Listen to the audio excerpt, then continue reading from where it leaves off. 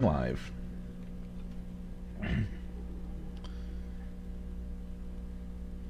And we're live here on Facebook. I'd like to welcome those listening in podcast land and also say a quick hello to you, Rich, as you welcome the last group of people. That's right. Welcome to those listening on YouTube. If uh, uh, no matter where you are listening to us at, Facebook, uh, Facebook, YouTube, or on wherever you download your podcast, make sure to like, like, subscribe, comment, or, or rate, rate, rate, or comment. Um, Yep. If you do, we'll, we'll make sure to give you a shout out once we uh, once we see it.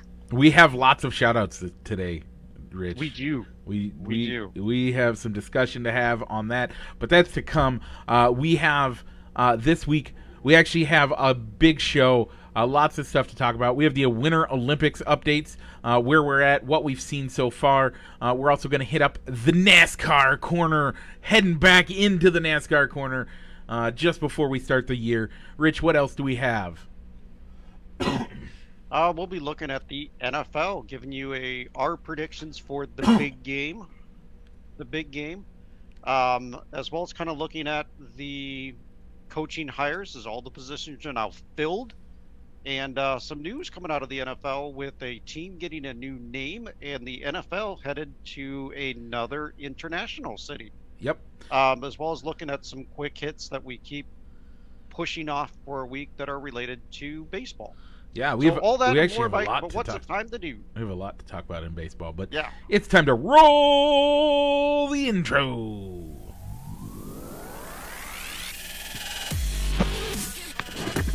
Broadcasting live from somewhere in Iowa. This is Balls and Sticks, the podcast, with your hosts, Mike and Rich.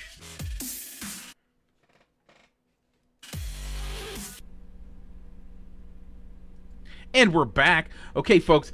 Uh, poll question this week. Lots of responses to both poll questions that we had. Um, we're gonna we're gonna talk about our food poll question now. We'll deal with the uh, sports poll question when it comes time to that at that section. How about that, Rich? That's Okay. sound like a fair Yeah. kind of that plan to go through. That works. Um, but before we do that, Rich, how are you doing? We didn't even ask that at the beginning. yeah. I'm doing good, Mike. Good. Good. Doing good. Work's going well. So uh start training for the new job and working half days between the two departments uh, next week. And Monday's an off day for me. So yeah. Nice. So I get get a little bit of a bye week before I gotta start doing two jobs. So Yeah. two jobs at half days in two departments. Yeah. Mike, how you how are you doing? Uh, recovering from surgery, ended up going okay. yeah, ended up having surgery Tuesday. Um, they thought things were bad enough that I needed surgery no matter what, so got my surgery in, uh, and uh, doing well. Uh, feeling all right, at least feeling enough to sit here and talk with you fine folks, and you as well, Rich. Um, and uh, we're gonna see uh, how it goes. Hopefully, I'm up for all of this, and uh, we can get back into the show. Uh, as we do, we're going to hit up this week's poll question. The last wild card of the uh, food poll uh, Yeah. chicken wings or, or pulled pork. Rich, which one of these did you vote for? I know, but you know. I, I think I went with pulled pork. You did actually go for pulled pork. You did. Okay. Um, which is I, what I I, vote so early. I right when I post the poll, so I don't always remember. I voted pulled pork as well as uh, when you're Okay. talking about tailgate food. As I've said the entire time, this is something I could eat at a tailgate. A little bit harder to keep warm. You got to have that that charcoal at a nice low level and put your pan on top and just let it sit there. But a lot easier to do than working with chicken wings, getting both your hands dirty. You just put it in a thing and you can keep playing bags while you're eating your sandwich, right? That's how I look at it.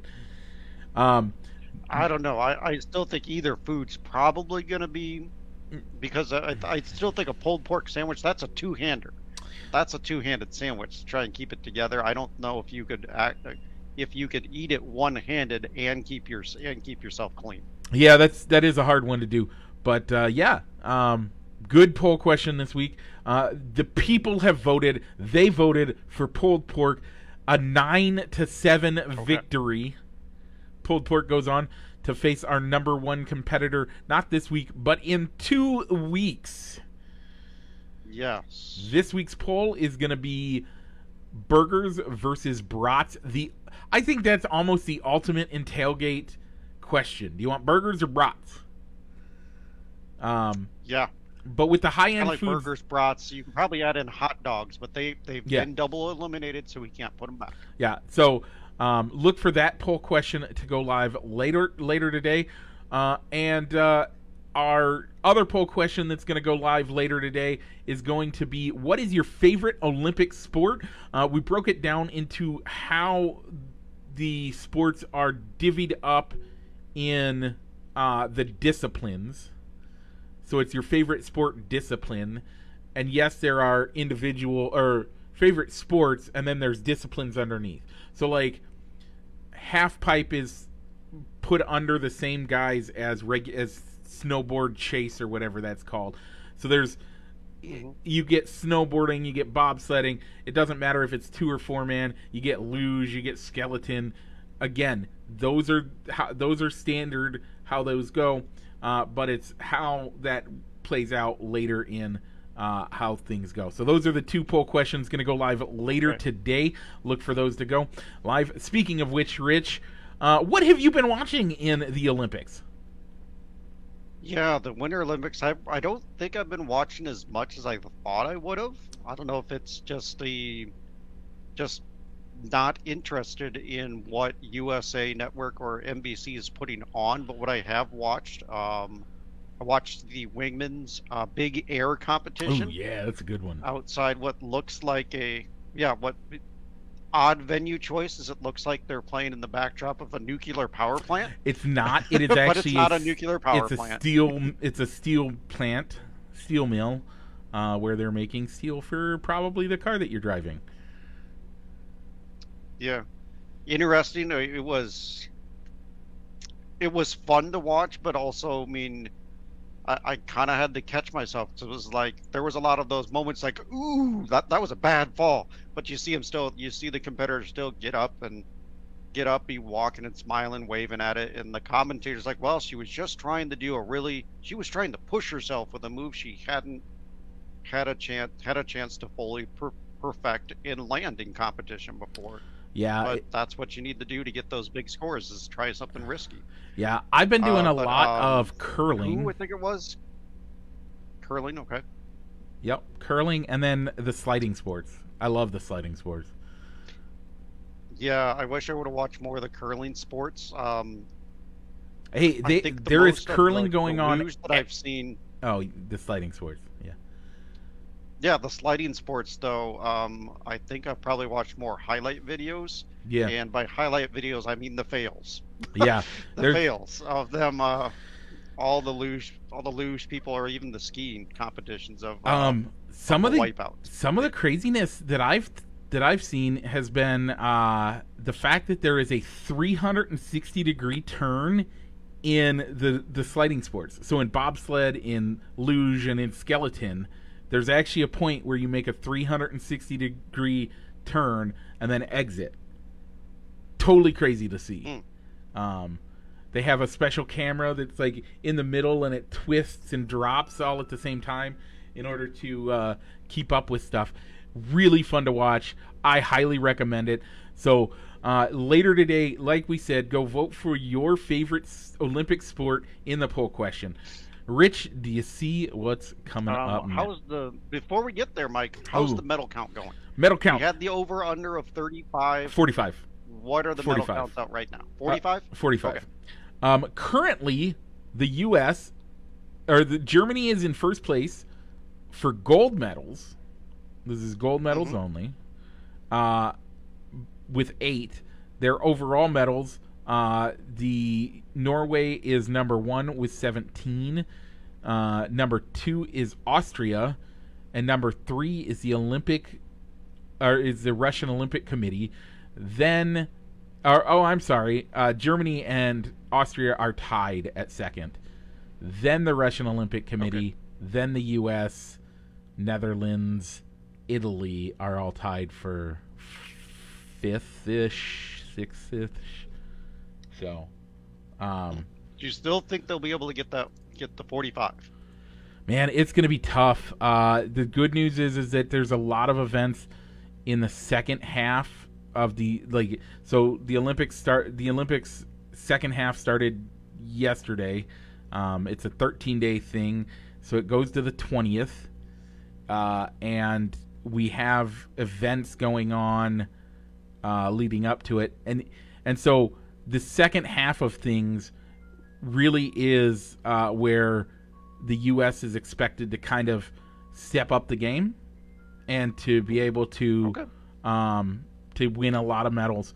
Uh, speed skating we do quite well in. Uh, um, we have some some good medalists for the snowboard stuff, and the um, our bobsled team should be all right. Not great, but the big the big thing is uh, m- women's um, women's curling, men's curling.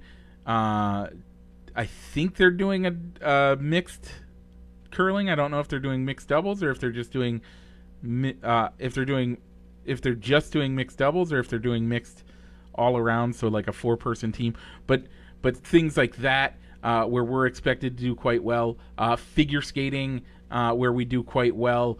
Okay. All of those events uh, are coming up. Those are where where the U.S. is generally expected to uh, step up its game, and so we'll see. I, again, it's it's one of those things where that back half is where we generally do well, um, but you never know. I- anything could happen.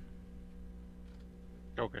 I mean, I mainly went with the under because I think the Winter Olympics is a, there's a lot of um, Well, the Nordic block. parity across the Winter Olympic uh, against the yeah the Nordic the Nordic countries Yeah, the Nordic block has really do well at the Winter Games. has tons of great uh, competitors, and so it's it'll be really interesting to see uh, how. I mean, they they they do great. Uh, Germany, Norway. I, I put Germany in the Nordic bloc. They technically aren't.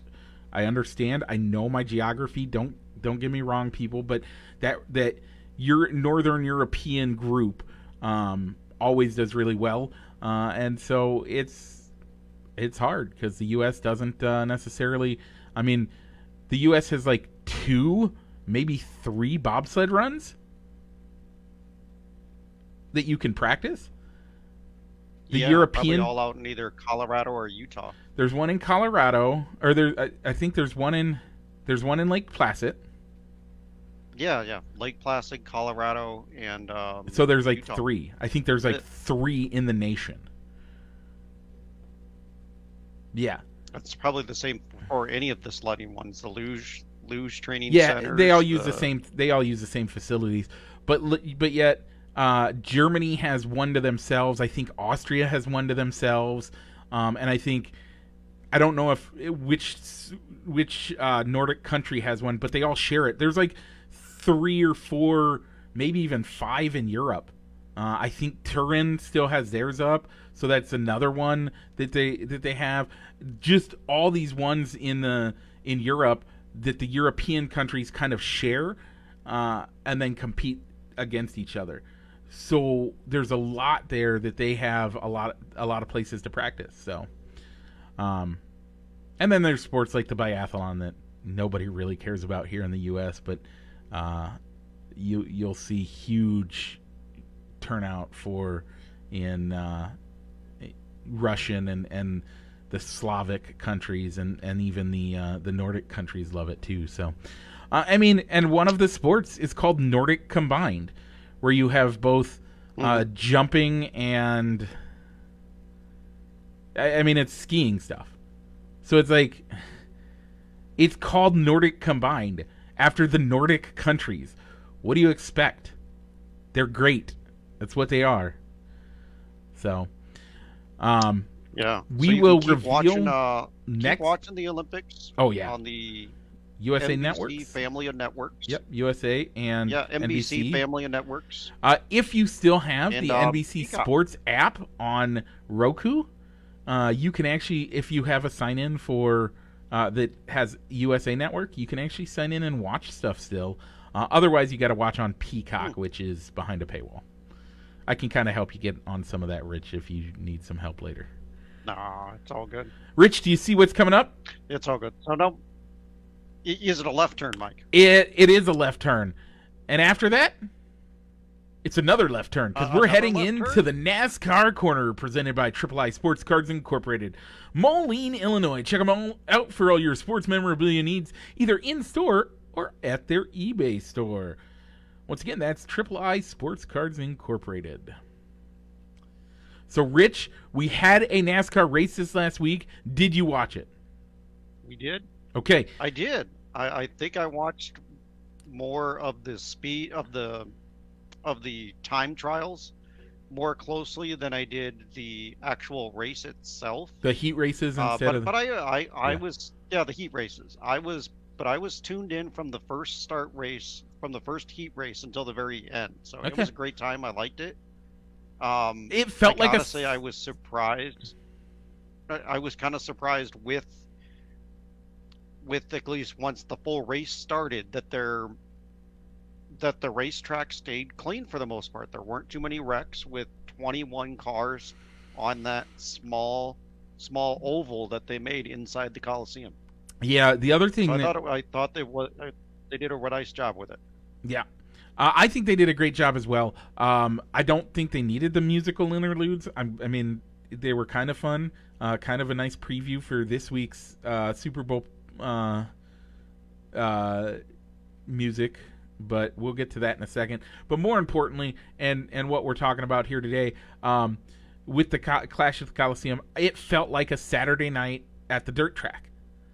You got your heat races, you got your last chance qualifiers, and then you have your main race, your main A. And uh, man, it was awesome. Um, they did a great job with the racing side of things. I was not necessarily a huge fan of the musical side of things. I don't think it was necessary. You're still, I mean, I guess at that point you're just trying to entertain the fans that are there, uh, and they had a decent, decent uh, amount of people show up. There, Mhm. it looked like it was fairly well attended. Um, hopefully, uh, that helps them boost and get uh, more people this year into the NASCAR entertainment stuff. Uh, so let's give a quick recap of how our drivers did and how the race went last week, Rich. All right, so Joey Logano was your race winner. Uh, my driver pick of Chase Elliott came in 11th. Mike, your pick of Denny Hamlin came in 23rd in the main race. Yeah, he uh, he wrecked out pretty early, um, and then Chase Elliott looked like he was not gonna have a good day, and ended up pulling out an 11th out of that. Mm-mm. He early on he Yeah, looked like I'll he was it, in some trouble.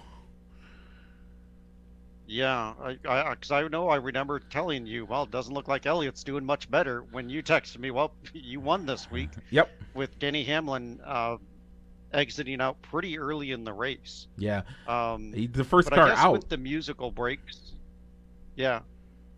Was he the first car out? I thought he I think he was. I thought they had a couple other cars that were out first. I thought, but either way, he was made the probably your first big, well-known driver um, that had the bow out of the competition, though. Um, what were you saying about the inter- the the musical breaks? Yeah, but as far as like I guess the the the breaks, I think you needed to have something there to entertain the fans and also pass the time during the TV broadcast when they were setting up from the going from the the heat races to the main event. And of course, the 75 laps to, wasn't that also used as kind of like a, a way for them to do pit stops and refuels Yeah, at, they at the halfway mark of the race? they were doing some tire changes and stuff like that. So it makes sense. I'm not I, again. I'm not upset at it at all. I just it was you a, just would have rather seen artists that that were more associated with NASCAR or that you enjoy watching. actually personally I Listening I to? actually prefer listening to the people that uh, that that they had uh, there. I Okay. I actually prefer those guys over everybody else. Uh, actually, Denny Hamlin was the first out. Chase Briscoe was Oh, the second. Tyler Reddick was third, and Ryan Pace was fourth off the track. So okay. yeah, it was. So at least Denny Hamlin, in theory, could have gone back. Um, he could have gotten in, in the rig and started heading back to Florida at least. Yeah, he Um, he ended so, up Mike, staying and thing that- watching. It was great, but Yeah. So the one thing that you brought up is with this being being complicated, putting a lot of strain on teams for having to go coast to coast to go back to Florida for the Daytona 500 and Speed Week. Do you think anybody will keep their cars out on the West Coast because after Daytona they got to head right back across across the country to go out to the Auto Club Speedway in Fontana no, for race number 2? No, No? none of them are going to do that because the the cars that they brought to uh, the Clash, a they don't count in their car count for the year.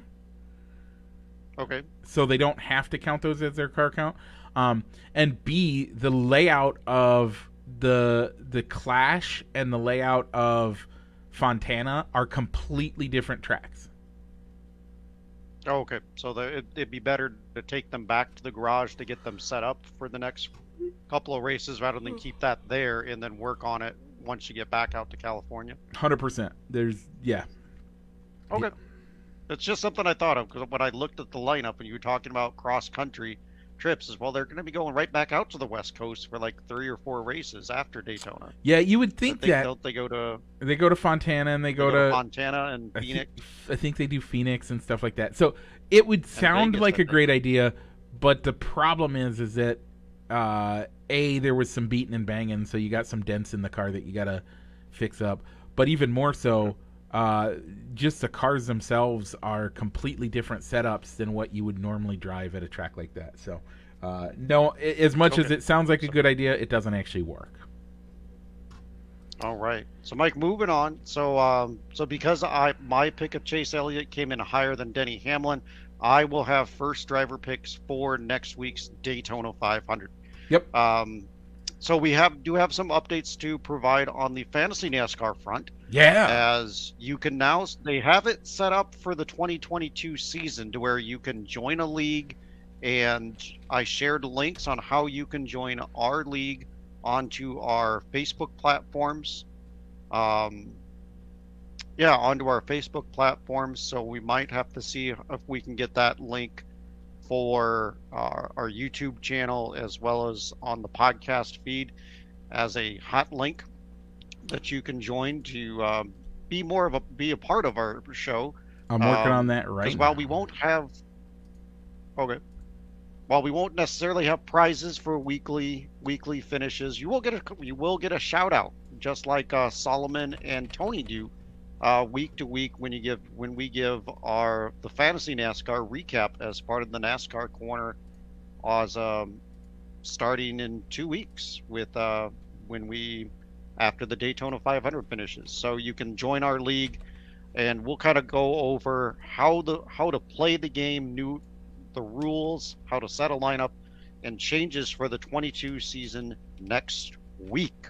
Yep, I am putting that up here, right here in the show notes. Uh, you can now click the link. It should be live, and you, the link should be there and ready to go. Um, don't forget to Yeah, tweet but- that out there, Rich. Okay, but anyway, either way, um, pro tip: download the NASCAR app. Download the NASCAR app. Makes it changing your lineup week to week really easy, as well as it gives you an option to see live scoring of how your drivers are doing as the race is as the race is going on, as well as gives you an easy option to swap in your garage driver during the race. Uh, during the race, so you don't necessarily have to run down to your desktop computer to make lineup changes while the race is happening, and miss out on a chance to swap out a guy that could have wrecked out or is doing really not doing as well uh, compared to your garage driver. But more on fantasy NASCAR next week. If you do sign up um, this week, make sure to probably check uh, the fantasy NASCAR app and set your lineup. Uh, probably on Wednesday or Thursday Yep. is when they'll probably open it up to where you can set your lineup. Yep. And tune in next week for our our NASCAR, our fantasy NASCAR, um, kind of like tutorial, as well as our picks for the Daytona 500 next week. Yep. Uh, so the Clash the Coliseum saw the debut of the next gen car, Mike. Yeah, did you like so what are some of those biggest? Yeah, I kind of liked it. So, what were your So some of so the things you kind of some of the big changes? So one of the biggest things that I noticed, and this is because I've been watching NASCAR for 25 years or more, um, the numbers have moved forward on the door, so they are they are more towards the front of the car. Um, it opens. I mean, what it does is it opens up more space for more, um, more using that that side panel as more of a spot for um, uh, more sponsorship. Uh, yes, NASCAR guys are, are plastered in sponsorship everywhere. Why? Because that's what pays for the cars. It's an expensive sport to to participate in. You have to have you got to get those cars paid for somehow. Throw in stickers for Triple I Sports Cards Incorporated or any of these things is what you have to do. So that's kind of what they're doing. Uh, they've upgraded the safety in the cars. Um, they've made them so that uh, they they have uh, they have protected the drivers even more than they already were, which they've done that quite a bit more. They've they've been doing that more and more throughout the recent years. Um, and then they've da- they've actually um, they've lowered the engine RP- or horsepower, but raised the uh, raised how the the downforce plays in a little bit, and uh, and and so it makes it so there's less downforce, meaning that the car, even though the cars won't have the thousand horsepower that we've seen in the past, you're still going to see these cars at 670 horsepower trying to run around a track with significantly less downforce, meaning the drivers have to drive a whole lot better. Yeah, um, you're gonna see only one lug nut, one center lug nut on the tires. Yep, that's an exciting thing. Um, it's a big safety thing. Uh, something that we're gonna, uh, you're gonna getting five lug nuts down correctly, and getting them equally tight, and getting them to not round off is a difficult thing to do, especially in the time frame they're looking at. Now with the new one lug lug nut, um, it puts equal pressure on the whole tire, making the tire safer to, and helps it stay on the the the hub better. It also um, theoretically makes a little bit extra time, makes it go a little quicker. Except these lug nuts take a little bit longer to tighten and to get to that exact specification that they're supposed to be at. um, you're not going to see penalties for loose lug nuts and all that stuff anymore. That should be a thing of the past. Um, because if you have a loose lug nut, your tire's not going to be on there right, and it's not going to work. So Yeah.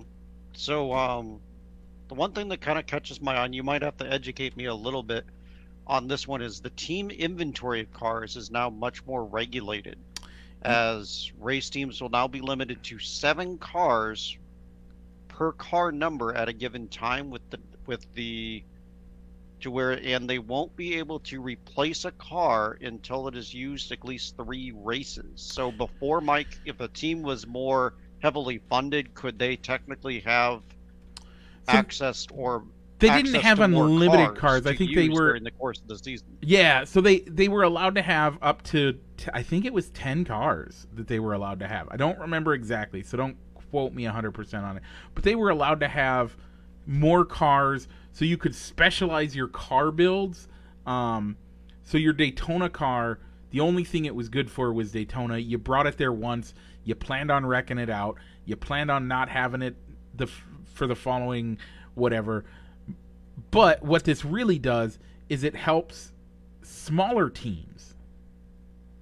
It sounds like, oh, well, you have seven of these million dollar cars just lying around. No, these guys, I mean, this week the cars are are in Daytona.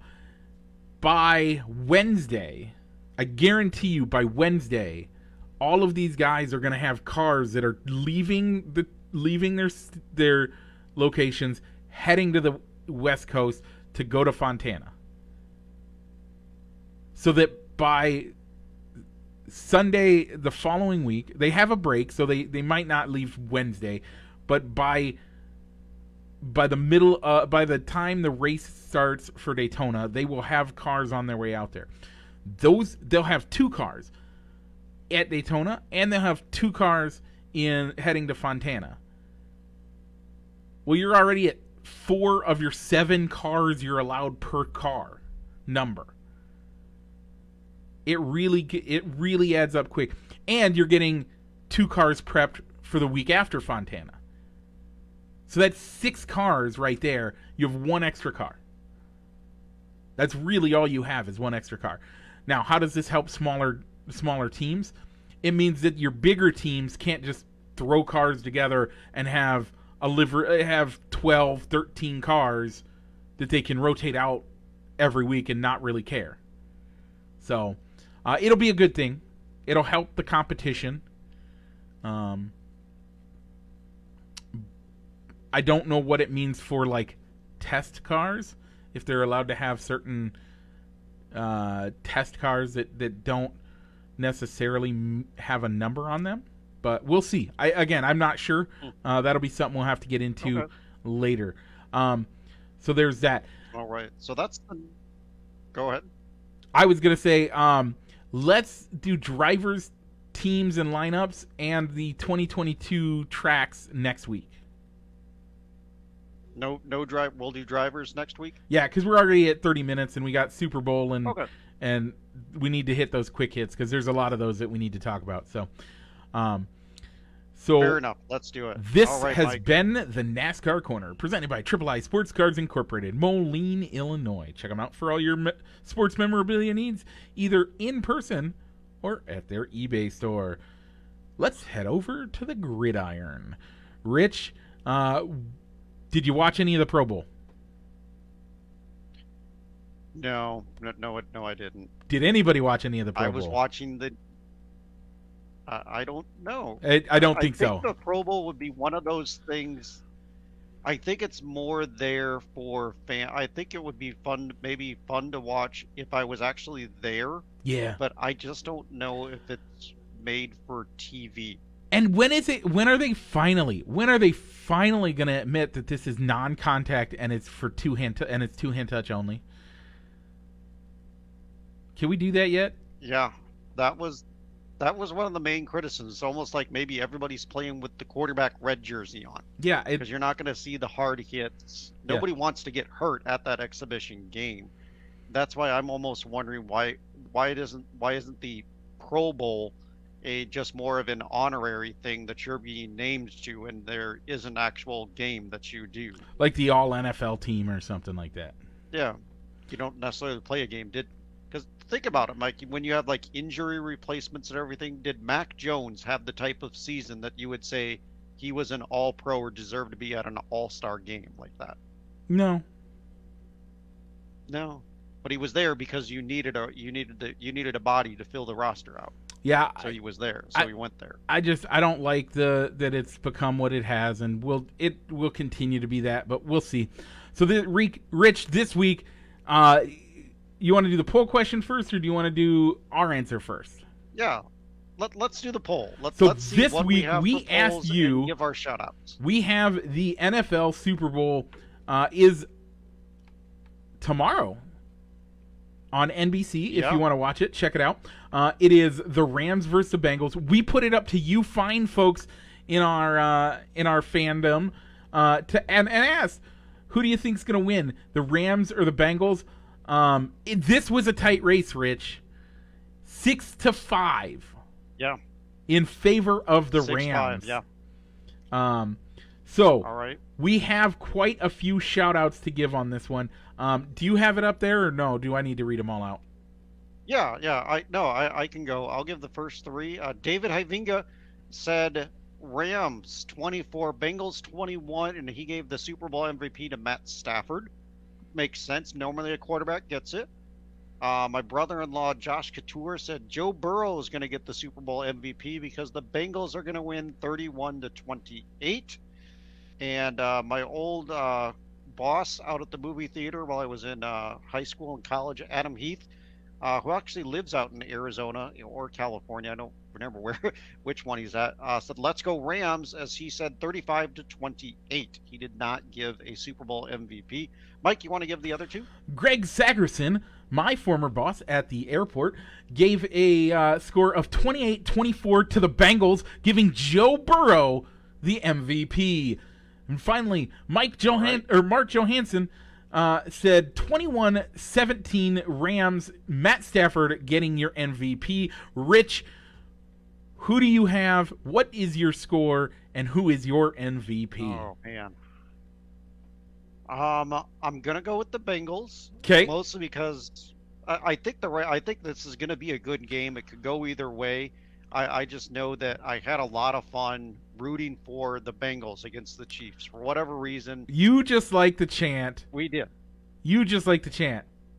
The chant. You want to give it to us? Yeah. Who Dey. The Who Dey Nation. Who Dey. So, Yeah. So I mean, but I I think if they can keep this game close, yeah. that's going to be their key to success because they have a great kicker who has just turned it Looks like we're going to the NFC or the, the, the AFC Championship, folks. as he's walking on as he's jogging onto the field with the with the backup quarterback and holder. Looks like we're He's going to the Super Bowl. He's not afraid of the big game moment, and that just right now the Bengals are hot. Joe Yeah. Burrow isn't afraid of the spotlight. And for me, they're almost playing with house money. Nobody expected them to make it this far. 100%. They are a So, year ahead I of what even- anybody thought. So if they lose, it isn't going to be like, man, they they disappointed.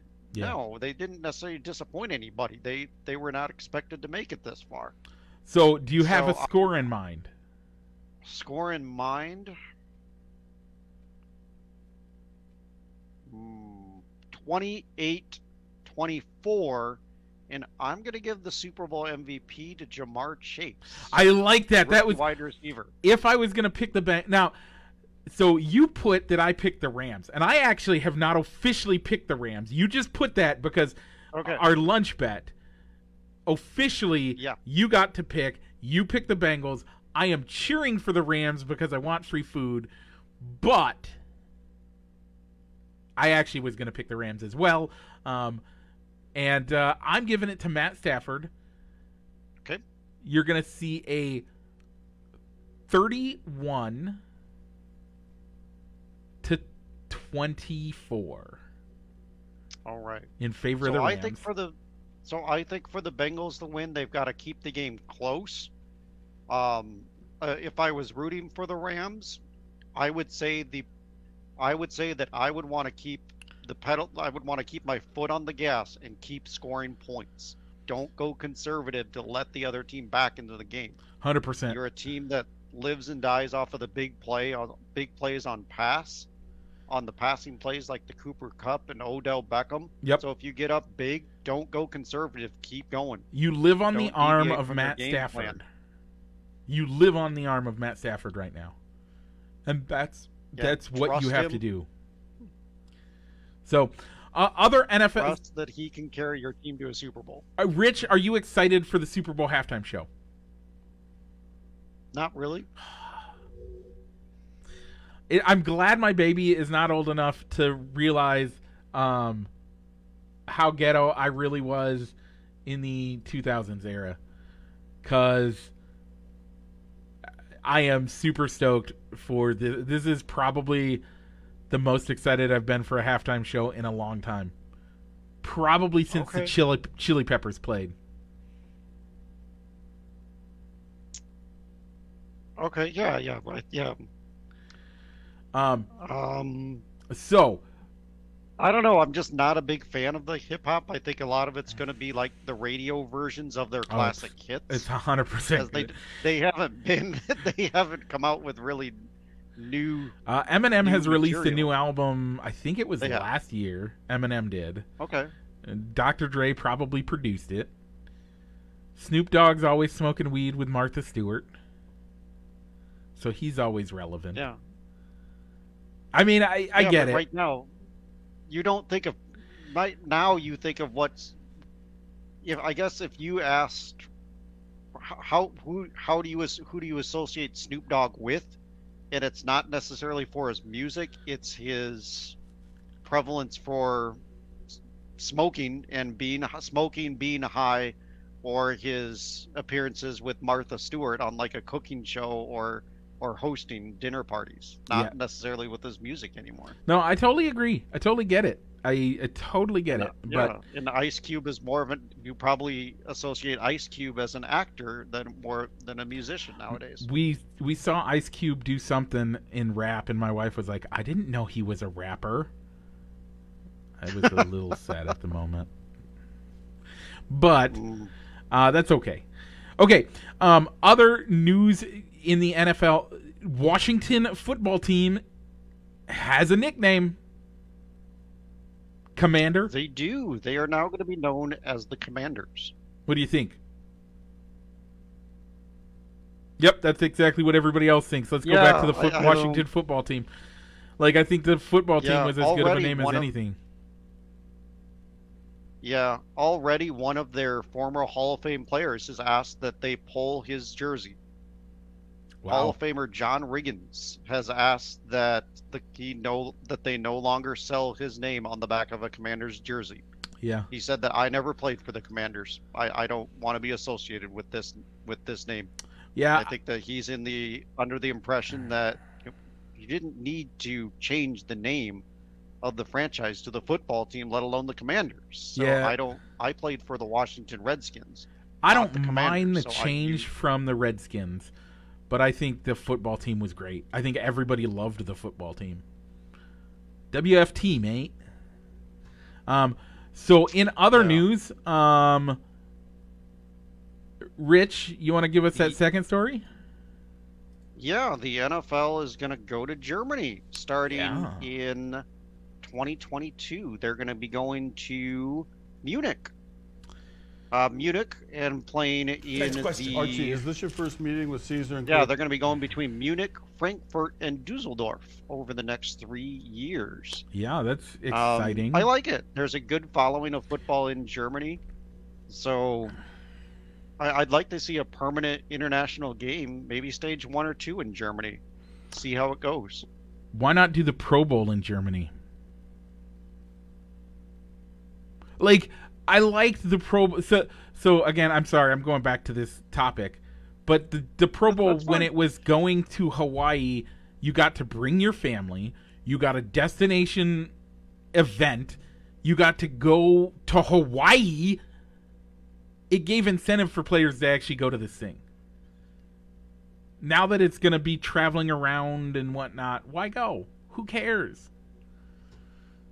Yeah, I mean, there was a lot of. I think there's a little bit of. I think that for the Pro Bowl to work or be relevant again, or get it to where players actually want to go, instead of looking for reasons to not go, put it at a destination where they want to go to. I Yeah. mean, I think they tried it with like Orlando, saying, "All right, we'll do we'll do events at we'll incorporate Disney Disney World into the into like to the skill competitions or the games before the big game and have it in Camping World Stadium. I think that somewhat works for the guys with families, but and and maybe Las Vegas and Hawaii, but anywhere else, it's like right, I can go here anytime, and we play regular season games here too.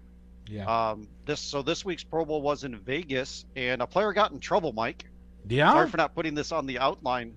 Alvin Kamara is being charged with assault as he and his crew, as they were going up an elevator, a guy was trying to just minding his. I think he insulted somebody in his posse, calling him ugly or you're ugly.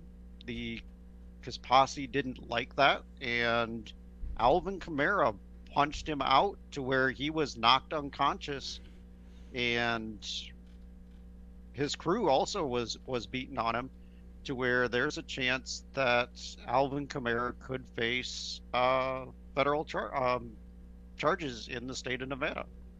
Man, that's that's a shame.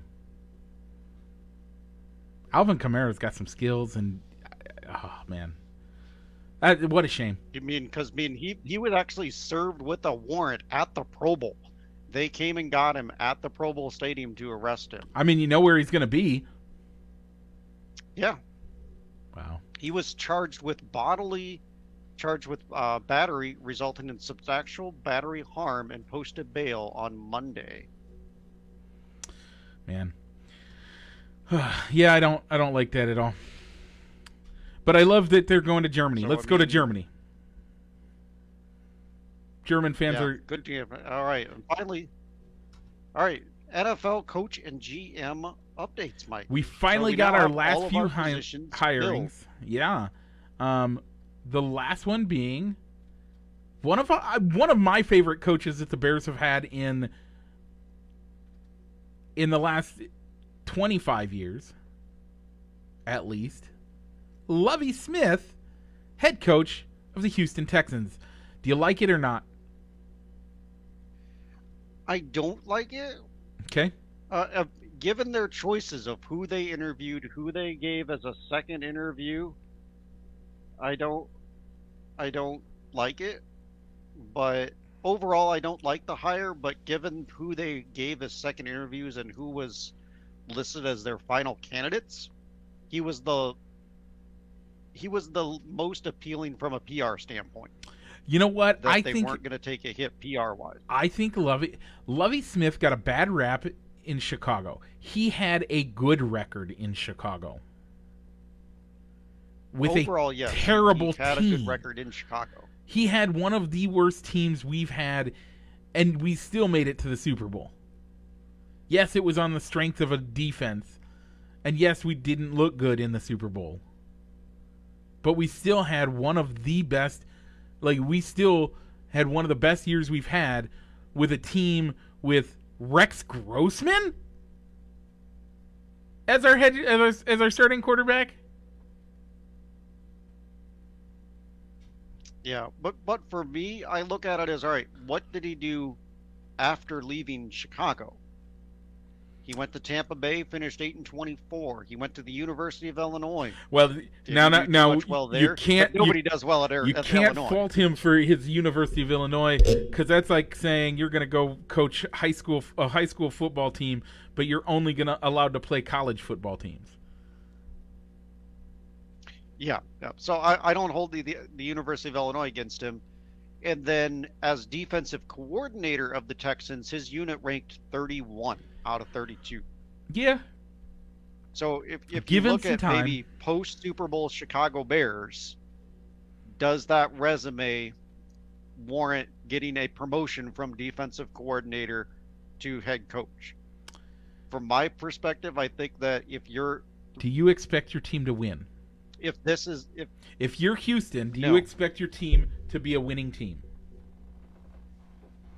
I I think I think they know that they're probably not going to be a winning team. Okay, so why not so not? they could have avoided the whole mess of uh, why'd you fire David Culley, one of the few minority coaches in the league, for at least having the same record as the previous regime, and because nobody was knocking on the door saying they wanted to hire Lovie Smith as their defensive coordinator, so it wasn't like they had to promote him to keep him and they promoted the quarterback coach and Pep Hamilton the offensive coordinator, which was going to be the type of position he was going to get if he went to another team.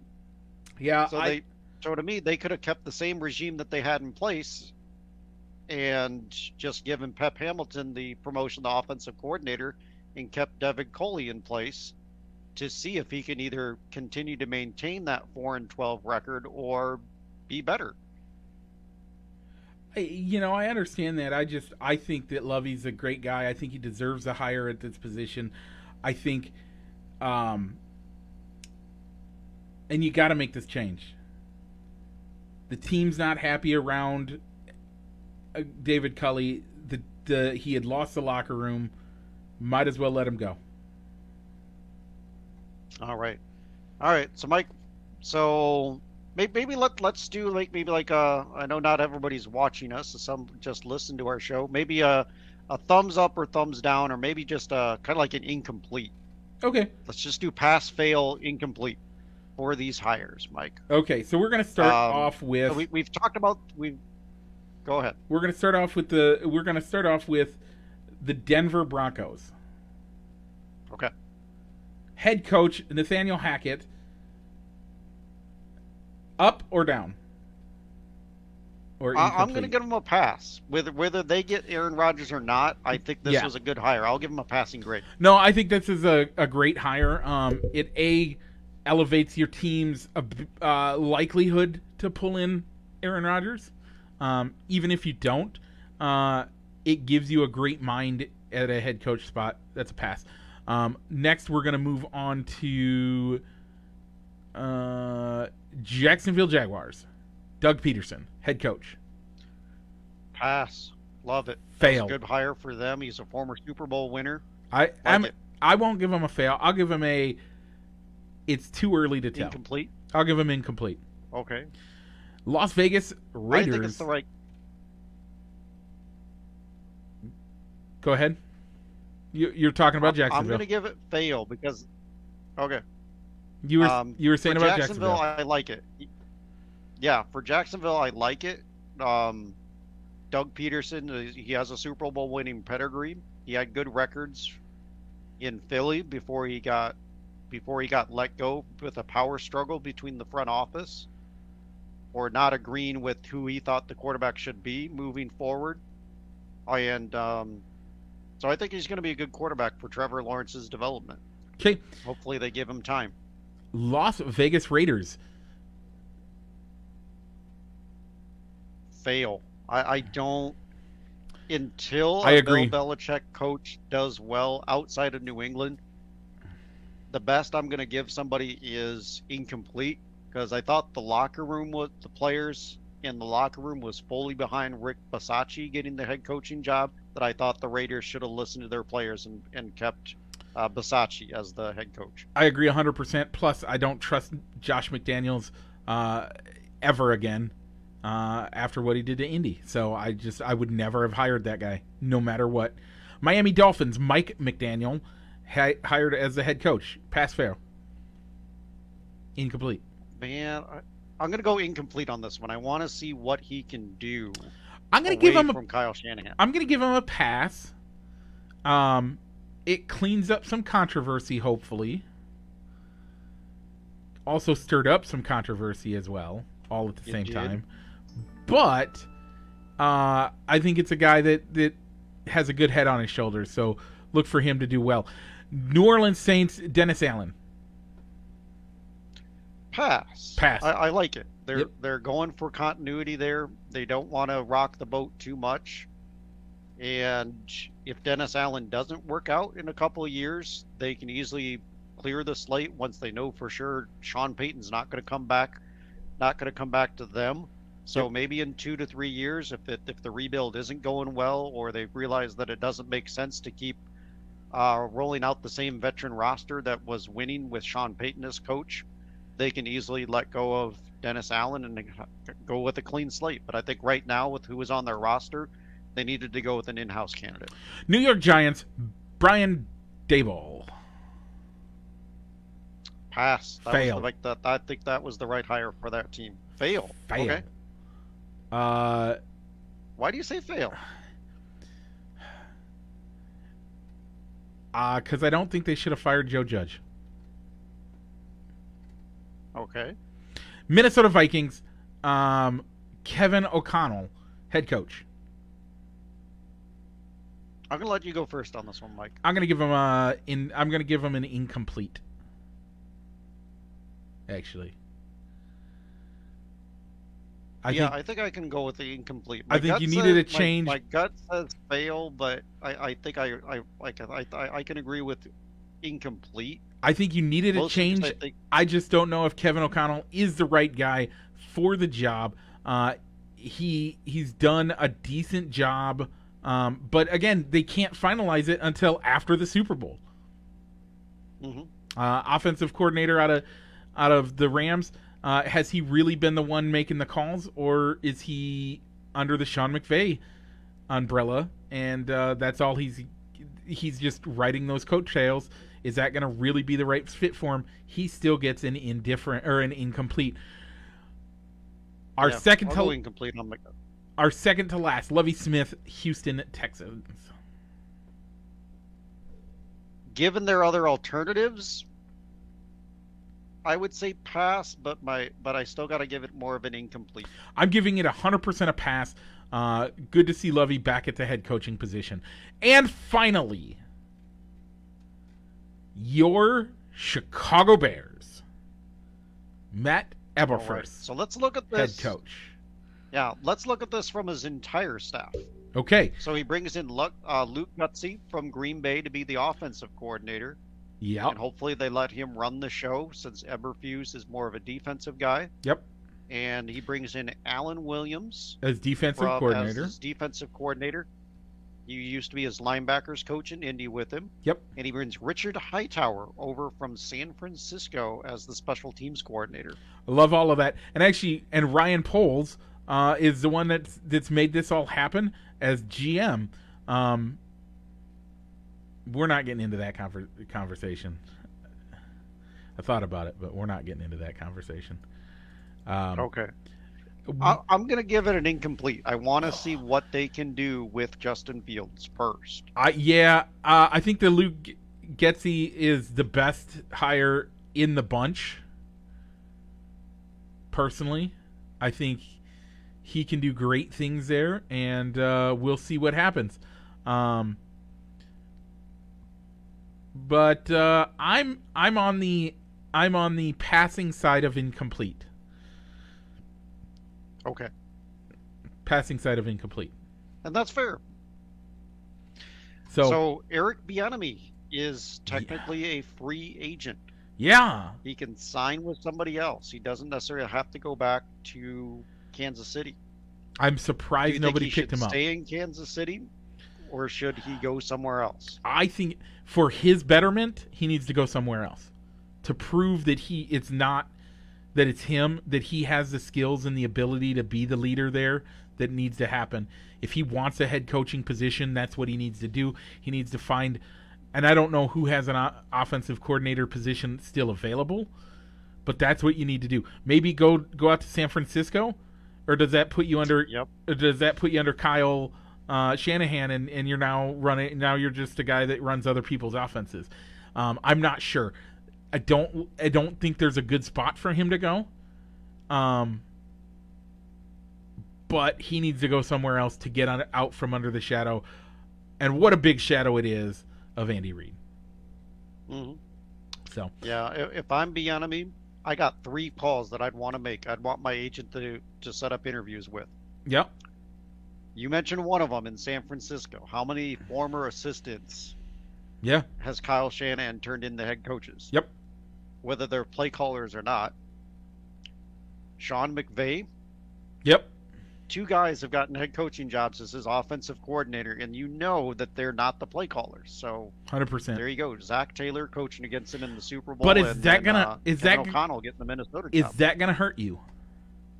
Because you know that these guys aren't aren't Get the off- they they're not the play callers, and so you're going back to another position as Eric Bieniemy to get questioned whether you're actually the one making the difference in the offense.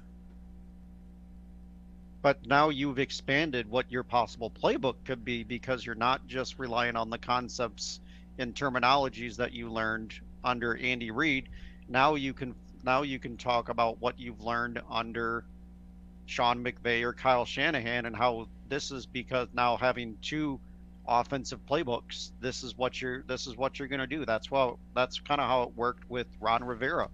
He was a Bears defensive coordinator for so many years. He went over, went out to Los Angeles, and learned how to um, learn a to- totally new defensive um, skill set as he, as like he ran a three four a four three in Chicago, and then went out to San Diego as a defensive coordinator, and did a did a defense as a three four. Yeah.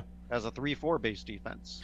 We'll and see. the third team, the Patriots, coach under Bill Belichick for a year. I think that's too many. I think all of I like all of those places for him. I think he could do well at all of them. I think the problem though is is that every one of those locations have too big of a guy at the head.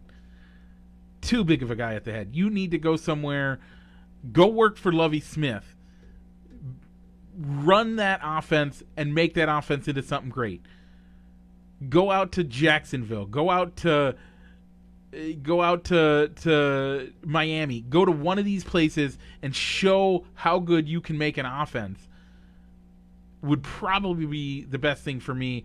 Um, the problem is none of those places have the skills to do it, so it's hundred percent relying on you, not your not your players really, and that's not what you can what you do as an offensive coordinator. Okay, Yeah. um, Rich, we have some quick hits to get to that we've been putting off, so let's get them as quickly as possible. Uh, let's start off with uh, a quick update. Um, according to Rob Manfred, uh, the universal DH has been agreed upon. Uh, that's going to be in the new uh, collective bargaining thing that's going to be happening. Uh, we also know that the players and uh, the league are meeting today uh, to Ooh. to talk. Um, We'll see if anything comes from that. Uh, they apparently gave raises and uh, did a couple other things on behalf of it. So, um, and agreed to the universal DH. So that those are updates for this week. Um, we also had uh, we know that in AAA, um, which league was it? Rich is the Robo Ump going to be calling everything? All of AAA, from what Oh. I understand. Yeah, all of AAA. Do you like it? Not like it? You might as well test it at the highest level Yeah. before you try and bring it to Yeah. uh, to the majors. Um, and then, uh, Rich, do you want to give us a rundown of? Actually, we're gonna do this first. We're gonna do J- Jeremy Giambi before we go into Okay. that. That Go way, we it. don't end on a bad note like we used to do all the time.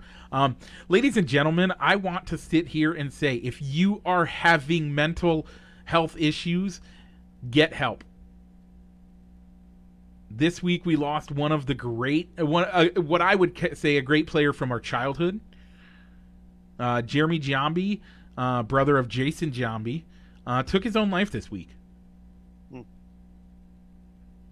41, 41, 42 years old, I think is what Ollie was. He was young, Forty-seven, Mike. 47. 47. Still, that's that's young. If you are struggling, I don't care. Reach out to me. You can find me on Facebook. I'm not that hard to find. I'm on all those posts on here. Reach out to me. I'll sit and listen with you. Um and, and if you don't want to if you don't want to spill your guts to me, um you can call 1-800 273 8255 or text talk to 741 741 that's the national suicide prevention lines.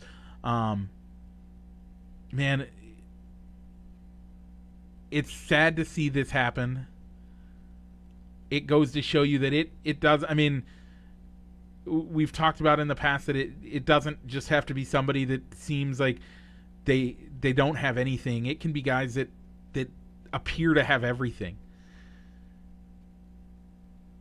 If you need somebody to talk to you can reach out to us or you can reach out to those two numbers. I will put them in our as in our uh, description as well um, just because it's that important to, to me at least and i think rich would agree it's important to him um, if you are struggling with thoughts of suicide or uh, any of anything like that uh, just give these numbers a call and uh, or or reach out to rich and i um, and, and we'll do our best to to to just be there for you.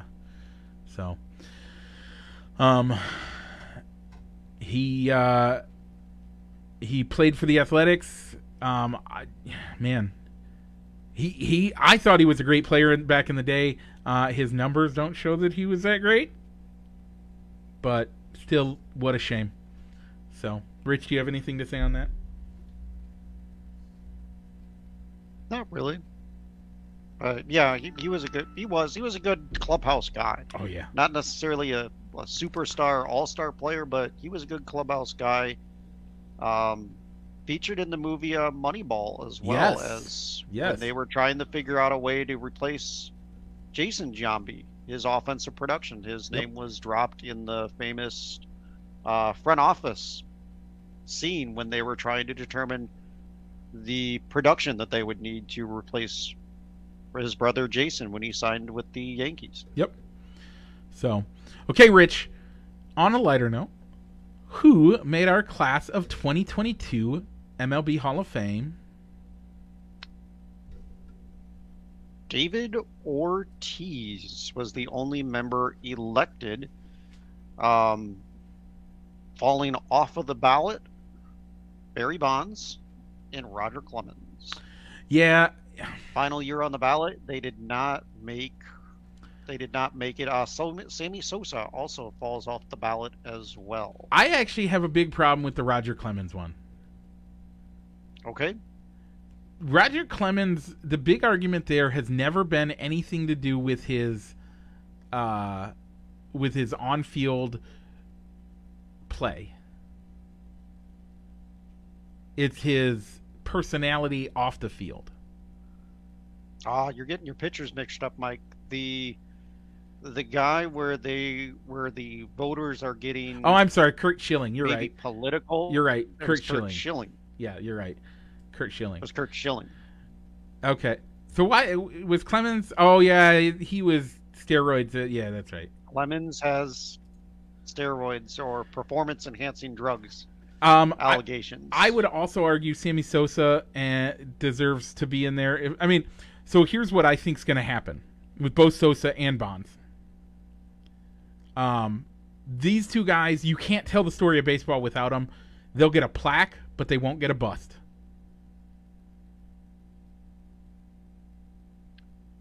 I think that they'll eventually get elected, but it's going to come from the Veterans Committee, like their peers putting them into the Hall of Fame, and probably the same thing with Clemens and Schilling as well. It's their peers considering their numbers, the players, the guys that they played with during their careers, putting them into the Hall of Fame. Since the voters chose not to. Yeah, we'll see what happens on that. Um, You know, all three were great players, and I, but personally, I just don't think that David Ortiz was a first ballot Hall of Famer. oh, I agree. I don't think he had a he had a good enough resume to be a first ballot Hall of Famer. But you got to admit the guy is very likable. He's big personality. His I, I I mean I'm more considering him for his postseason performance His- rather than his regular season performance. And even beyond that, point his post his post baseball career, what he's yeah, done since baseball career. since he's been a baseball player, since post player career has been way better than most of the guys out there. So I'm actually okay with the with him getting elected that early. Um, it's just one of those things that that uh, comes up and and is uh, I you know I'm fine with it. So um, anything else? Any other Yeah. shout outs that you have before uh, I bring us down yet again? Um, I no, I I don't have any shout outs this week. Do you want to wish your wife a happy Valentine's Day? Sure. Always forget about Valentine's Day because we really we don't really celebrate it that much. We're gonna go out. We're gonna try and go out and uh, I took Monday off, um, mainly because I thought I'd be coming up up to Estherville like I did last year. Uh, so I took it off proactively, and it just so happened to be on Valentine's Day. So we're gonna try and uh, just enjoy the day off together. We might go bowling, Okay. as just to get out of the house and do something. Well, you're welcome. Uh, so happy Valentine's Day. you would have been welcome to come up. Uh, we we totally could have made it work, but I understand why not. Um, so this week I want to shout out to Solomon, uh, who participates in a lot of stuff with us. Uh, is a great member of the the the family, I would say here on Balls and Sticks. Uh, he's been on the show to kind of talk NASCAR. Um, him and his family have um, are preparing to lose his mom, and so we want to lift him up. We love you, um, and we're here for you. Give us a call if you need anything. Um, that whole family's been a part of my family for for many years, so uh, it'll be a sad day, but we know that uh, she's leaving suffering behind. So, uh, on a lighter note, happy anniversary to my wife who hates Valentine's Day and uh, doesn't tells me if I buy her flowers, she's throwing them away. Legitimately. she will throw away flowers that I buy for her on Valentine's Day. So, um, no. So what if you bought the bronze flowers uh, made by our buddy um, Joe Ripple? Josh Ripple. Joe Ripple. Um, she wouldn't throw them away. Honestly, she wouldn't throw any of them away, really. But what she would end up doing is she'd be mad at me about it, and she would not be happy. Uh, and we would likely, I mean, you know, I don't do it anyway, but uh, she legitimately doesn't like it to the point that she would be uh, a little upset. So, Rich, with all that being said, what's it time to do? Mike, I think it's time to roll the outro.